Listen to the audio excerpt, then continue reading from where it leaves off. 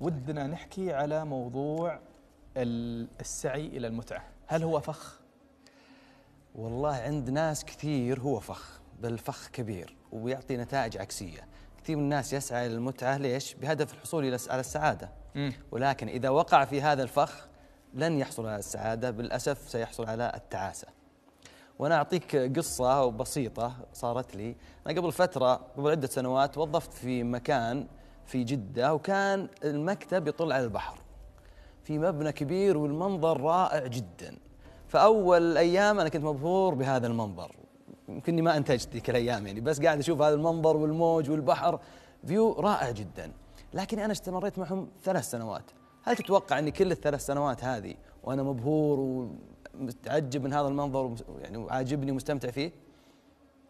أكيد لا. بعد أسابيع قليلة صرت أداوم وأطلع وأنا ما فتحت الستارة اللي تطل على البحر. ليه؟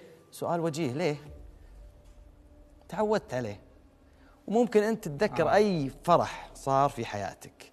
مناسبة مكسب رزقت بمولود فوز المنتخب على الأرجنتين كلنا فرحنا به. كم استمرت السعادة؟ وقتها بتطير من الفرح. مستمتع جدا خبر حلو. فرحان يمكن ترقص من الفرح. تقدر ترقص طول عمرك عشان المنتخب فاز على الأرجنتين؟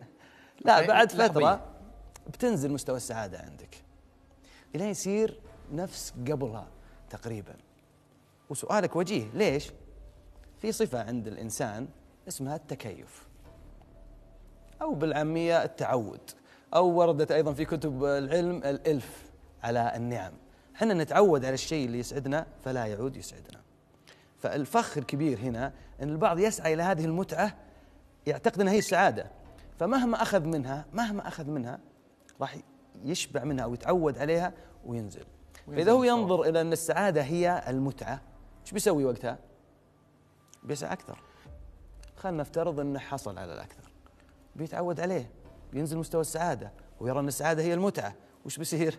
بيسعى أكثر وهكذا ويصير في هذه الدوامة تسمى دوامة المتعة أو طاحونة المتعة اللي هي شيء قاعد يدور مكانه يسعدك شوي و طيب